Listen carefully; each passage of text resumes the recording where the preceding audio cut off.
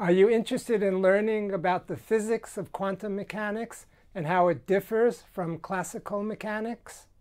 Quantum mechanics has revolutionized our world by giving birth to transistors and semiconductors that now power our computers and cell phones. At the heart of this quantum revolution lies the famous Schrodinger equation. This is a partial differential equation and even physics students struggle to understand it because of its complex mathematics. In this video, I'll show you some solutions to the Schrodinger equation to give you some intuition and to see how it differs from classical mechanics.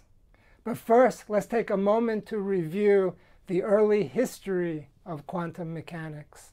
It was the turn of the century, and several brilliant physicists were stumped by a physics problem, the problem of black body radiation. What is the relationship between the temperature of a black body and the wavelength of the light that it radiates? We can see that as a piece of iron heats up, it starts to glow red. We say that the iron becomes red hot.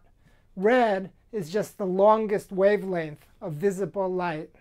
We can make the metal tungsten even hotter and get it to glow white. White is just a mixture of all the wavelengths of visible light. In 1900, Lord Rayleigh published a spectral radiance law that unfortunately blew up at low wave numbers. This classical law became known as the Rayleigh-Jeans law. You can see the Rayleigh-Jeans law as the red curve in this figure.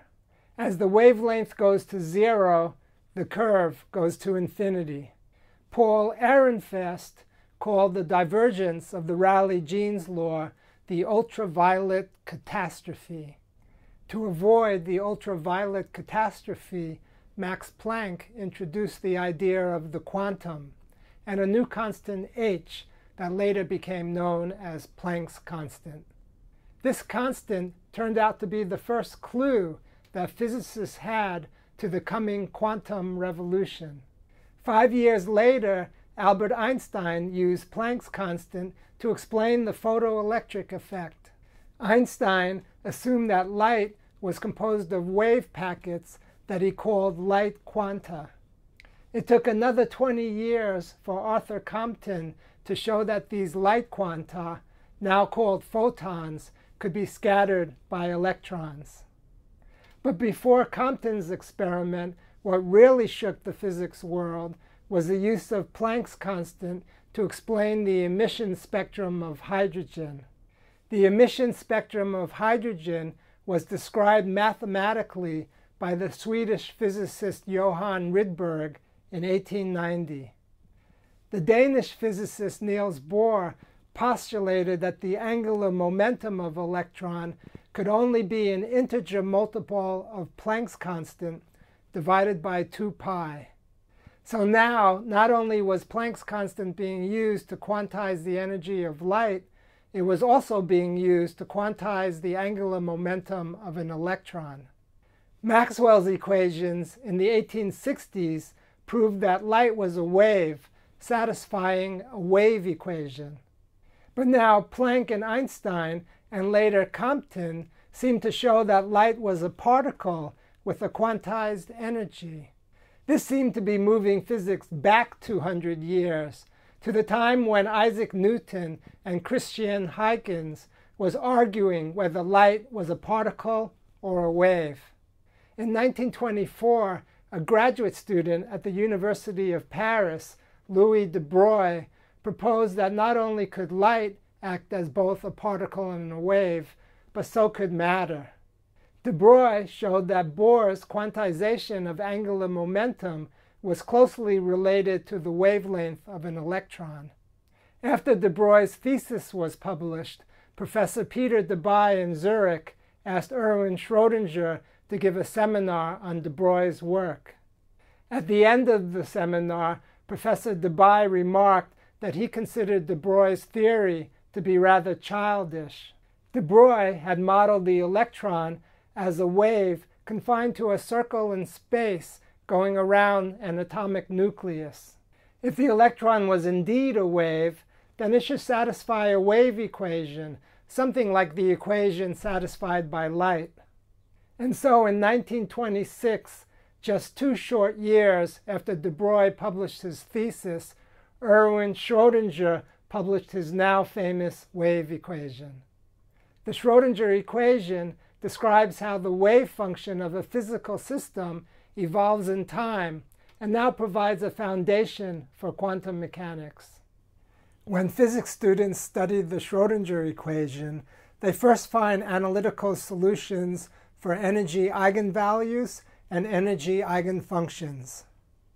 It's easy for students to get lost in the mathematics and lose sight of the Newtonian mechanics they have just studied. To help these students, we can solve the one-dimensional Schrodinger equation using a computer and observe both classical and quantum-like behavior. We can see how matter can act both as a particle and a wave. To solve the time-dependent Schrodinger equation, we first need to choose an initial wave function. Werner Heisenberg discovered his uncertainty principle in the late 1920s. In quantum mechanics, we can't know simultaneously both the position and momentum of a particle. So we'll construct what's called a minimum uncertainty wave packet, where the inequality in the uncertainty principle is replaced by an equality. Let me show you three examples of this type of wave packet. Have a look at the first example. The black curve represents the absolute value of the wave function, and the oscillating red and blue curves represent the real and imaginary parts. Here are two more wave packets. The wave packet on the top left behaves more like a particle, and the wave packet on the bottom right behaves more like a wave. We'll look at simulations with both particle-like and wave-like wave functions. Let's begin with the most particle-like wave function and place it in the potential well of a simple harmonic oscillator.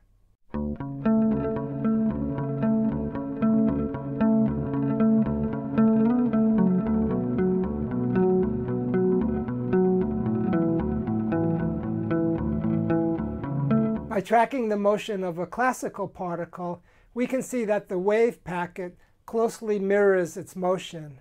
There is some penetration of the wave packet into the classically forbidden region, but only slight. The overall behavior of the wave packet is very particle-like. Now let's look a little bit closer at the wave packet as the particle approaches zero velocity. The frequency of the oscillations of the wave packet is proportional to its kinetic energy, and we can watch as the frequency changes as the particle slows down, stops, and then reverses its motion. Now let's have a look at the more wave-like wave packet.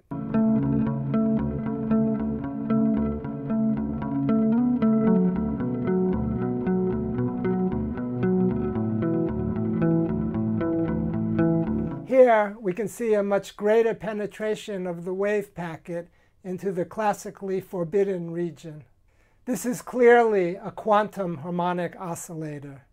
The harmonic oscillator potential gives us bounded solutions of the Schrodinger equation. To explore an unbounded solution, let's simulate a wave packet as it collides with a potential barrier. We'll set the barrier height to one and a half times the kinetic energy of the wave packet. Let's first look at the behavior of the particle-like wave packet. The wave packet bounces off the barrier much like a classical particle. We can still observe some slight distortion of the wave packet as it changes its direction of motion. But how does a more wave-like wave packet behave? As the wave packet approaches the barrier, We'll pause the video where the classical particle has zero velocity. We see that the wave packet now extends significantly into the classically forbidden region. As the simulation continues, the classical particle bounces off the potential barrier along with a portion of the wave packet, which represents the reflected quantum wave. Let's rewind the video and play the simulation once more, this time focusing on the right side of the barrier.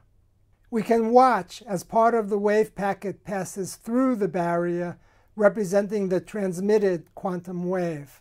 This phenomena is known as quantum tunneling and occurs when a quantum particle passes through a potential barrier that would be insurmountable in classical physics.